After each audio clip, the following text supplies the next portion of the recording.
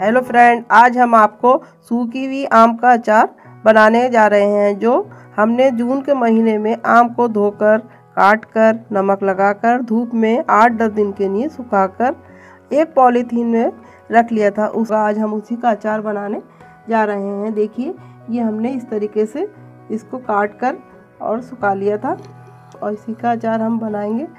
देखिए, ये कुछ नरम है।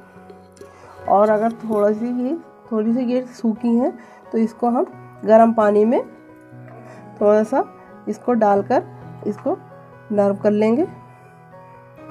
देखिए, अब हम एक चूल्हा जलाकर और इसको गर्म पानी में,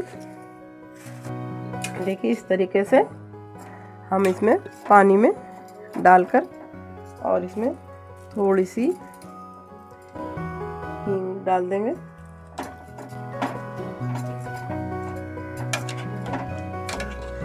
बस इतना ही इसको करना है। दो मिनट के लिए जो ये नरम हो जाए गर्म पानी में।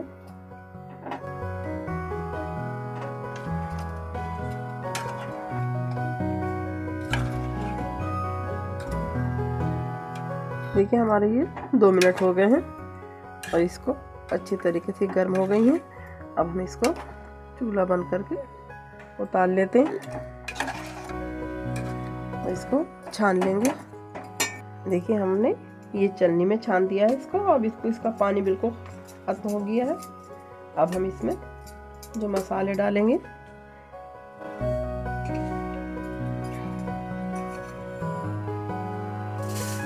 दो चमचे मेथी दाना।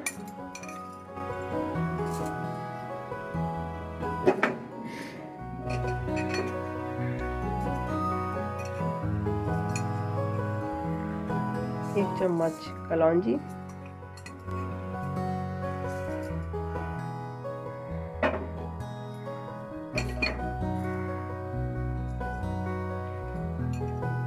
एक चम्मच जीरा पिसा हुआ।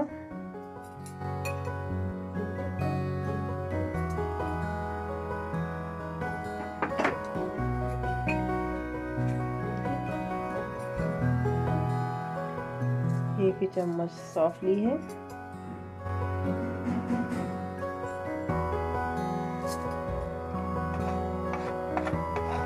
दो चमचे हल्दी पाउडर। एक चम्मच लाल मिर्च पाउडर।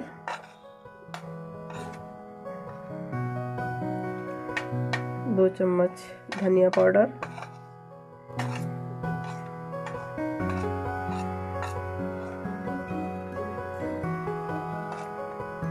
नमक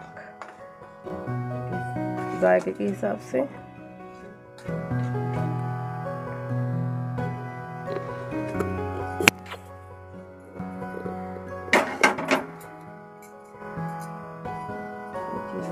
मिक्स कर लेंगे।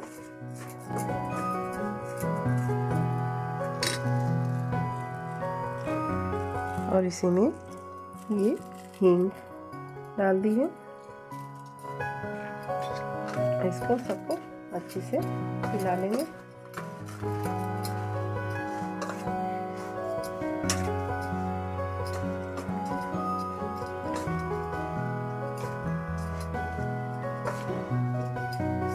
और इसी में ये तेल डाल देंगे, जो हमने गर्म कर लिया है।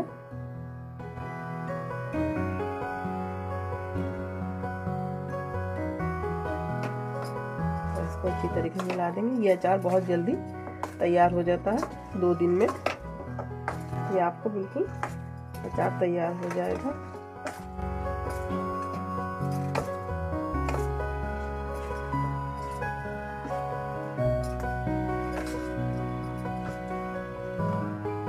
इसको अच्छी तरीके से मिलाने के बाद आप इसको इस डब्बे में डाल दें।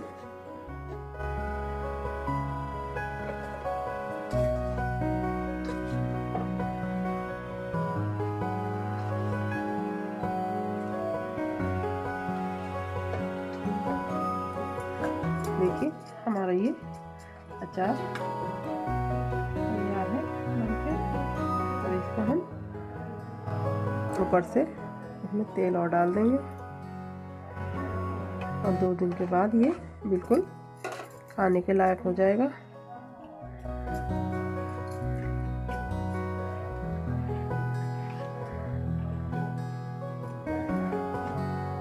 देखिए कितना बढ़िया रहा है